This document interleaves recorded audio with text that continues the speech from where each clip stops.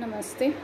Myself Triveni Khurana, Assistant Professor, Faculty of Physiotherapy and Diagnostics. Today we are going to discuss about laser. What is laser? Laser is the acronym for light amplification by stimulated emission of radiation. A laser light is monochromatic, collimated and coherent. Laser is a device that produces such a light. Low level laser is used by some therapists to treat various musculoskeletal conditions. Low level laser therapy is a non invasive light source treatment that generates a single wavelength of light. It emits no heat, sound, or vibration. It is also called photobiology or biostimulation. Low level laser therapy is believed to affect the function of connective tissue cells, accelerate connective tissue repair, and act as an anti inflammatory agent. Lasers with different wavelengths varying from 632 uh, to 904 nanometers are used in the treatment of musculoskeletal. Wavelength in between 660 nanometer and 905 nanometer have the ability to penetrate skin and soft or hard tissues. This light have a good effect on pain, inflammation and tissue repair. An output power of less than 0.5 volts is classed as low level laser therapy.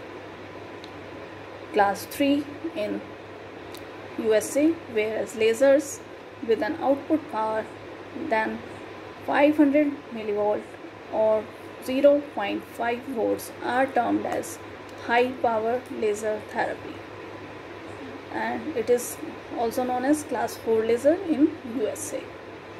High power laser creates heat on the surface of the skin due to their higher power density that is irradiance and in case of low power it is often referred as cold lasers since they do not create a heating sensation during treatment.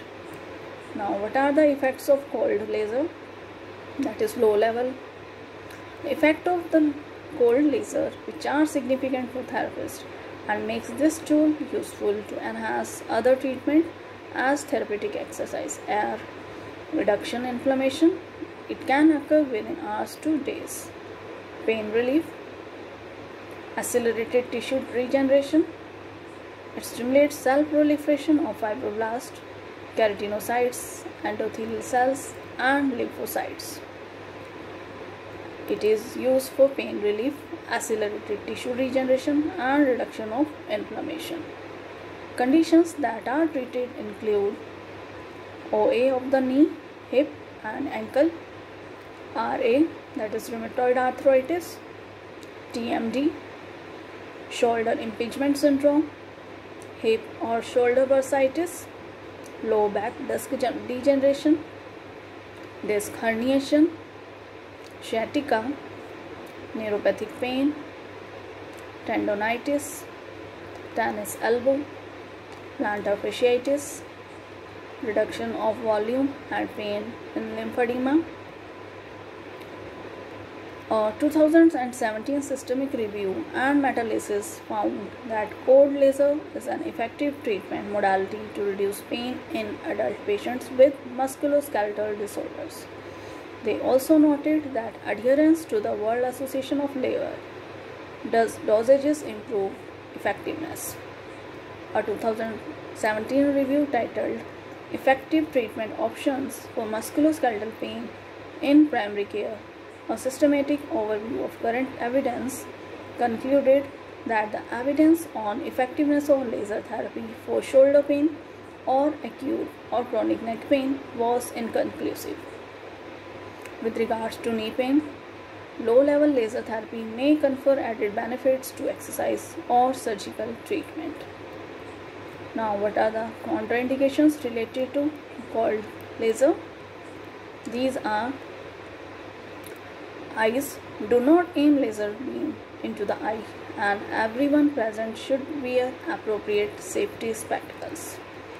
In case of cancer, do not treat over the site of any non-primary carcinoma or secondary metastasis unless the patient is undergoing chemotherapy.